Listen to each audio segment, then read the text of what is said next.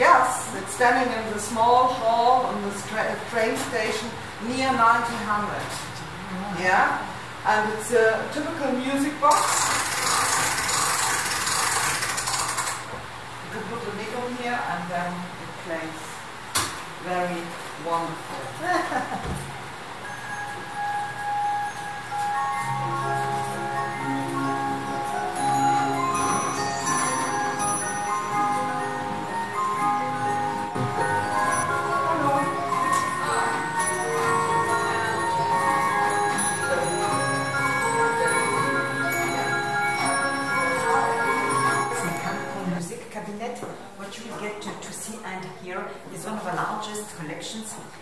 self-playing music uh, instruments in Europe. And here in this museum, we have more than 400 uh, pieces. The first one is that one here. What's that? It's an orchestrion. Before, an orchestrion was uh, intended to replace a small or a big orchestra. It contains therefore many instruments, such as a drum kit here, but it contains also many organ pipes, wooden organ pipes. And such orchestrions were therefore called as mechanical organs. They were before in big dance halls. That one is an orchestrion Weber Maestro. Such ones were developed in the 1920s. In Germany, in the Black Forest, in the town Waldkirch, by the firm Weber as a concert orchestra for dance and jazz music. The sound carrier is a perforated paper roll, one perforation for one note. The air goes through the perforations. Each plays therefore with compressed air, but each plays also with electricity. The first ones from uh, 1830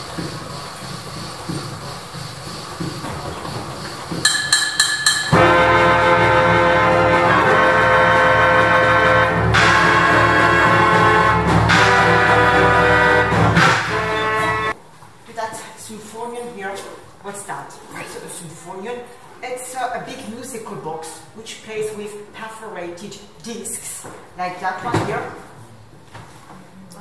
Yeah, it's a symphonion from 1900. And uh, this is, this is uh, a, pa- a sound carrier. It's a perforated disc. You have here a, you have here a perforated paper as a sound carrier, and here a perforated disc, and the perforations here, the perforations here in the middle, not that, not these ones, huh? The perforations here in the middle the notes for that uh, instrument. Huh? That part here, the, the spring, the spring uh, turn, and uh, the perforated disc as well. We are going now to hear the Lorelei by Silcher, composed by Silcher, a very popular song here in the Rhine area.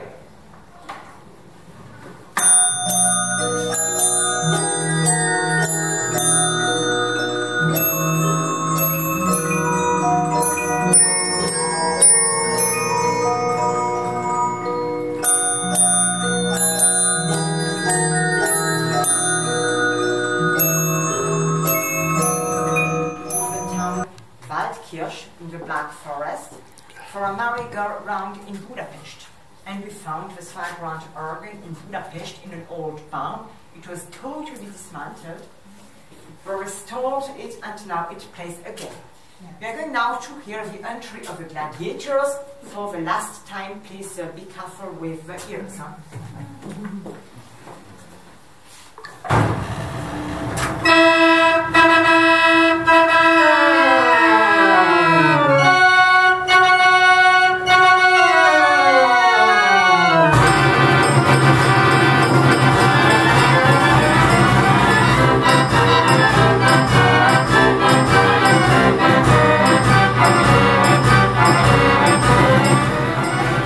Downstairs, but with two perforated discs. Huh?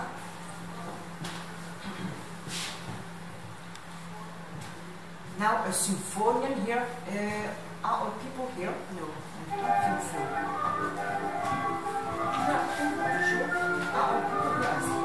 Yes, now a symphonion with two perforated discs. That one with three perforated discs. Of the 19th century, which exists 85 here centimeters. The biggest one. How many seconds? Uh, how many? No, perhaps no, 15 minutes, Okay. perhaps more. I don't know it exactly. Yes, uh, you can change. Huh? You can change the, the disc. For example, here we have over all the discs. All ah, not that. You can uh, sit down if you want. Huh? Sit down now. No, you don't want to sit down.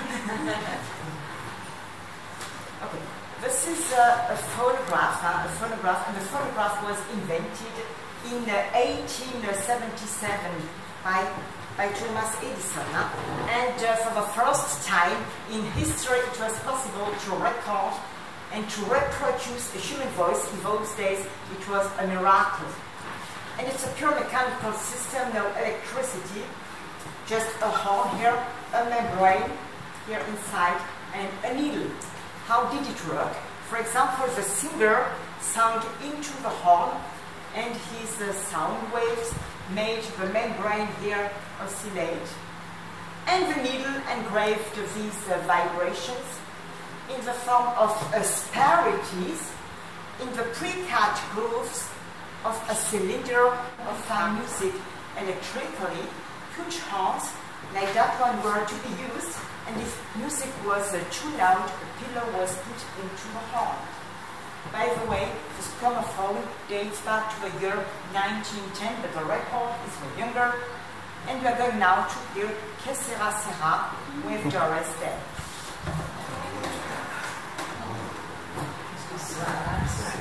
It's better, yes, it's better to change the needle each time now because of the record of Schiller.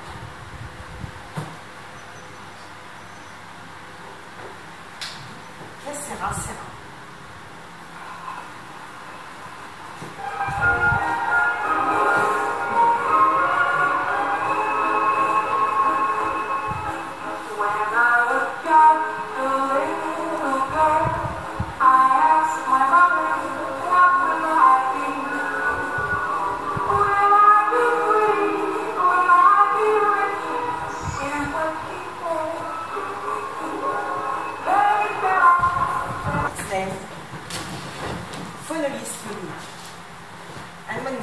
This orchestra was uh, introduced to the public for the first time in uh, 1909 at a music fair in Leipzig, in the town Leipzig, in Germany, they spoke of the eighth wonder of the world, and we'll find out why.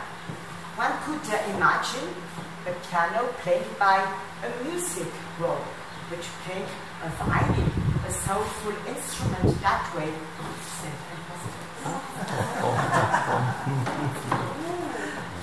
Ik wil net zo.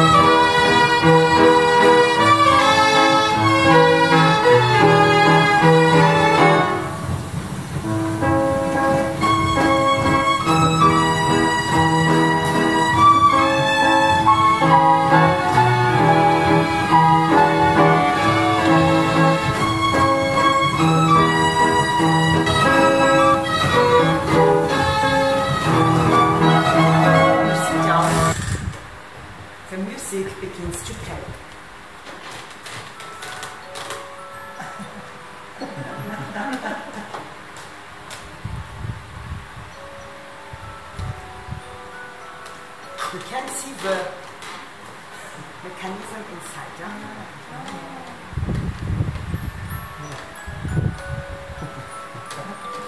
It's a new one.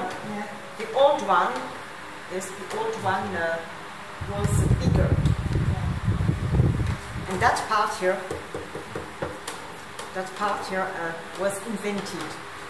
It was invented by Favre at uh, the end uh, of uh, the 18th century. And Favre is, uh, is uh, therefore the inventor of the. And here in this room we have a reproducing grand piano exhibited. What's that? Before, before phonograph and gramophone were too coarse, not good enough to record and to reproduce a pianist play, and there were therefore two types of pianos. The first ones were recording pianos, and the second ones, like that one, were reproducing pianos. And this one is from the 1930s. It was built by the firm Bechstein, and the firm Welte built uh, that system here inside. That's, sorry, that's, yes, that system here. The firm Welte. Yes, and we're going now, uh, we're going now to hear D'Albert, uh, D'Albert will uh, play now for us uh, Dream of Love by Francis. Huh? D'Albert was a German composer. Yes, each plays with, uh, with electricity and it plays with air. You can see here several bellows huh, for the air, for the perforations. Huh? Dream of Love by Francis. Music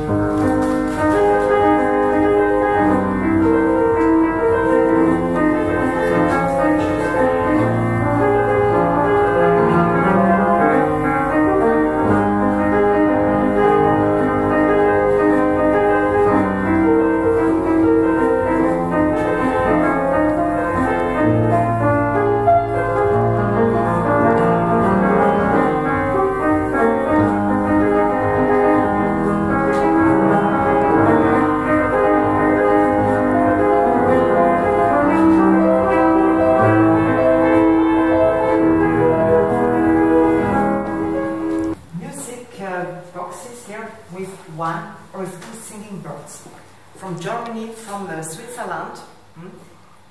They all uh, date back to the 19th century. That one is a very new one. It was built in our workshop, Yeah. but it was built like these old ones from the 19th century. I just have to wind up here with the key. and uh, the key is uh, a bird as well. huh? and I will show you now how such a bird sings. huh? They all sing like a nightingale. Oh.